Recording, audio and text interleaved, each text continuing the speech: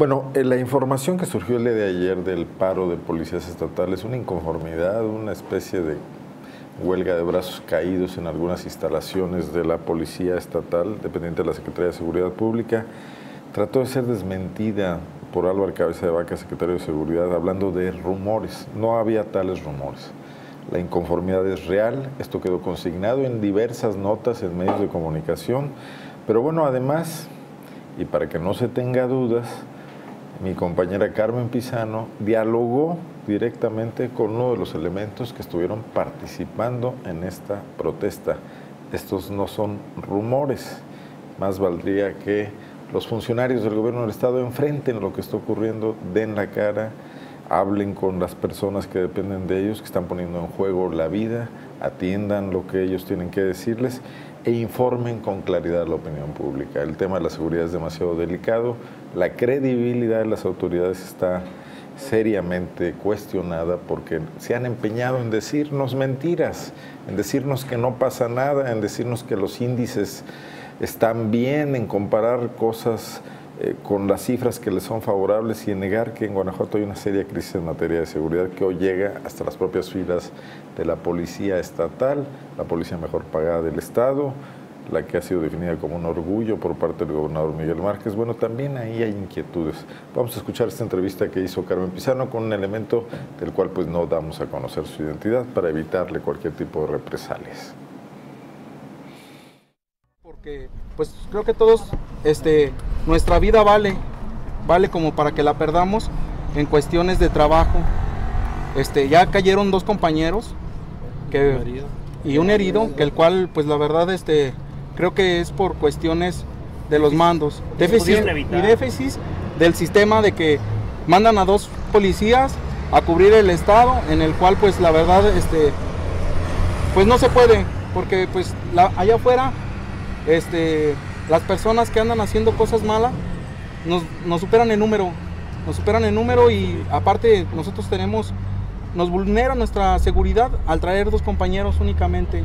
Igual manera los horarios de, trabajo son excesivos, son excesivos y pues yo creo que aquí todos los compañeros este, pueden hablar y decirles también que, se sienten inconformes.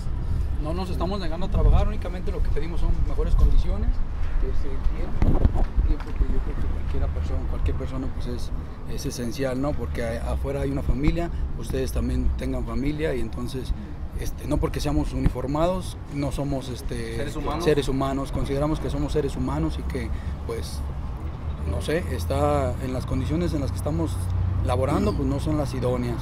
No nos estamos negando a trabajar, ¿no? Sino que simplemente, pues yo creo que ya basta, ¿no? Ya, ya van muchos oficiales caídos y ya, ya es momento de, pues, somos una policía estatal, ¿no?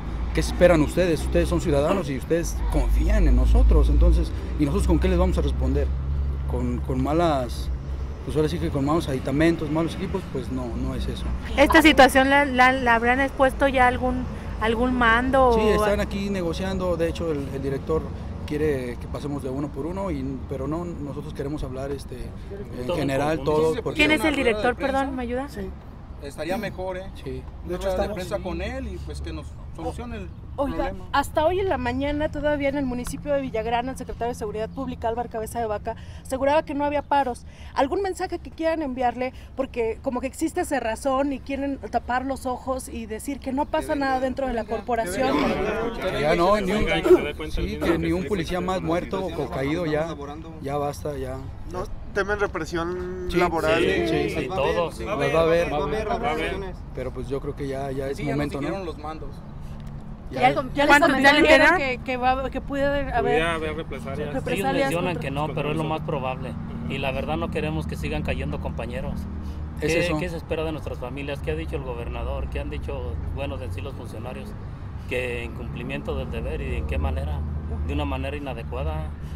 Una manera inadecuada en el sentido de que a lo mejor en equipo en, y en este caso un tipo de unidades que no son las condiciones la otra, que son dos elementos en cada unidad. Y lo que acaba de mencionar mi compañero, eh, minoría, hay quienes traen un arma corta nada más para este tipo de gente que llegan a traer un armamento superior al de nosotros, eh, cartuchos a a discreción que, que no tienen medida y, y cómo queda, han quedado los compañeros, ustedes lo han visto. Hay elementos que no tienen, no tienen armas, o sea, no hay como portación de arma. Alrededor como... Que los mandan a patrullar a algunos desarmados y a pie, a pie tierra en municipios como Salamanca, ¿verdad? Exactamente. ¿Los han visto? Salamanca, Celaya. que son los municipios más, Más más complicados. Pues hace poco el secretario decía que pues, en el evento que inclusive fue aquí, que decía que pues todo estaba muy bien y que había las condiciones, inclusive manejaba que era la, eh, La mejor tercer, policía. la mejor policía o el La tercero, tercer mejor policía. el tercer mejor policía. Todas esas situaciones vienen únicamente en el papel. Lo que viene siendo la, la acreditación, por ejemplo, de Calea, eso nada más esa acreditación está en papel. Físicamente, si el secretario o incluso el gobernador pudiera venir y de viva voz ver las unidades, creo que Pésimas condiciones. estaría, opinaría de otra forma. ¿Cuáles son algunos problemas que tienen de la- en las unidades? Relativamente de todos, ya que para operativamente para nosotros es necesario eh, que esté en excelente estado una unidad, puesto que, por ejemplo, situaciones como las que vimos en estos pasados días en Salamanca, nos ayuda para realizar bien nuestro trabajo, es decir, reaccionar ante, ante alguna agresión del crimen organizado, que sin duda, sin duda tiene el beneficio de, La de- sorpresa. el de la sorpresa. Partiendo de ahí, pues nosotros estamos en desventaja siempre ante, ante ellos. Y también les quiero decir que partiendo desde, desde el hecho de que son, nosotros antes de policía somos seres humanos, estamos eh, pidiendo únicamente lo que nos, nos compete como seres humanos. Es decir, nosotros también tenemos una familia que nos espera después de las labores diarias, todos los días en la casa. Jornadas, eh, Jornadas eh, larguísimas, extensivas excesivas. en los Bueno, esto dicen los policías, usted ya lo, lo escuchó de viva voz. Ayer platicamos con ellos ahí en Guanajuato. La Secretaría de Seguridad Pública lo sigue negando. Acaba de enviar un boletín hace unos minutos donde dice, fíjese qué mala redacción. La Secretaría de Seguridad Pública informa que es absolutamente falso que exista un paro laboral realizado por elementos adscritos al mando único de Salamanca. Por lo anterior, es necesario poner en claro que en ningún momento y bajo ninguna circunstancia han ocurrido los supuestos paros. Bueno, si dice que es falso, pues ya es redundante que diga que no han ocurrido los paros, que se han difundido falsamente. Se insiste en desmentir lo que ayer se ocurrió, se dieron cuenta, se percataron varios medios de comunicación. Estaba ocurriendo en Guanajuato y en Salamanca. Álvaro Cabeza de Vaca decide negar la realidad. Ayer lo hacía de esta manera.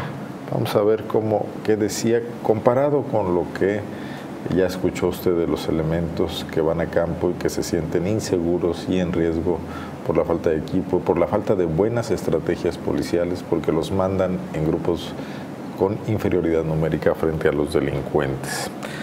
Ayer Álvaro Cabeza de Vaca se justificaba así. Además, nos regañaba a los medios de comunicación por si algo faltara. Escuchemos. Para que nos haga el favor de decir respecto su opinión de la Secretaría de Seguridad respecto a los ataques que han sufrido los elementos que están asignados al mando único de Salamanca. ¿Que no estaba en la mañana o qué? Ya No, comentamos. no, no, es que somos de este lado. Bueno, pues es un hecho Venimos para acá. que lamentamos mucho. Creo el fallecimiento de estos dos elementos, más uno que actualmente está lesionado. Lamentamos mucho también por sus por sus familias y bueno, seguiremos trabajando. ¿Se Eh, garantiza a las familias el... por supuesto, y lo hemos dicho una y otra vez, desgraciadamente en este momento tendremos que actualizar varios seguros que, que cubren cantidades que consideramos suficientes pues para... ¿Cuánto es el seguro más o menos? Están por encima, de los dos es por encima del millón cien mil pesos entre tres diferentes seguros para cada uno de, de ellos. Se dieron instrucciones desde el momento en que se tuvimos conocimiento de cada asunto, estar abordando a la familia, estar acompañándola en el trámite pues del funeral, del sepelio, sí, en su momento en el acompañamiento para hacerles llegar pues todos los beneficios que los elementos de fuerzas de seguridad pública del Estado tienen y bueno, pues el compromiso de coadyuvar hasta donde sea necesario con la Procuraduría Local para dar con estos criminales y Secretario, los elementos están en- inclusive enojados.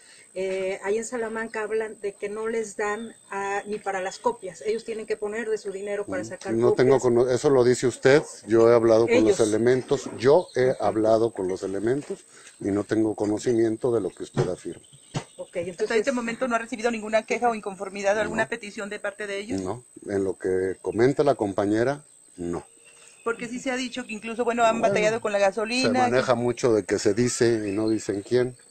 Los este, elementos lo han dicho de manera personal, hablo que no dicen a nivel institucional ¿sí? No hay ningún comentario de ese tipo. ¿Cómo se está verificando esto, por ejemplo, con el municipio de Salamanca? Que ellos les estén eh, otorgando las facilidades a los elementos para papelería, gasolina, todo esto. No, bueno, quien se encarga de esto es la Secretaría de Seguridad Pública del Estado, no, no el municipio de Salamanca.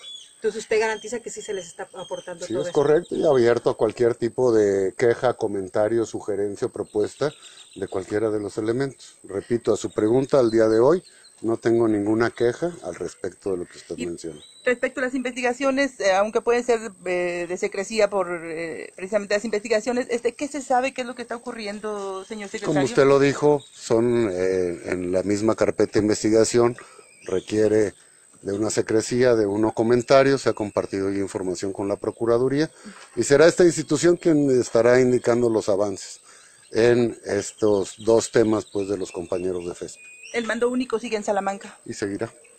Y por supuesto que también estimamos que este mando único impide la realización de ciertas actividades delincuenciales y que esto es lo que deriva en estos ataques cobardes y arteros. ¿Estos ataques no podrán crear desánimo o que haya desbandada de elementos? Afortunadamente los hombres y mujeres que pertenecen a las fuerzas de seguridad pública del Estado siempre tienen el ánimo muy en alto, ¿sí? Y un compromiso todavía más alto para estar combatiendo la delincuencia.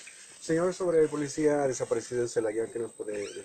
No, pues eso no, es un policía municipal, yo creo que el tema es del municipio, tal vez de la Procuraduría eh, licenciado, ¿nos reportan que hay inconformidad o paro en algunos elementos allá en Guanajuato? ¿No es totalmente falso, siempre son rumores, no hay ningún paro de elementos.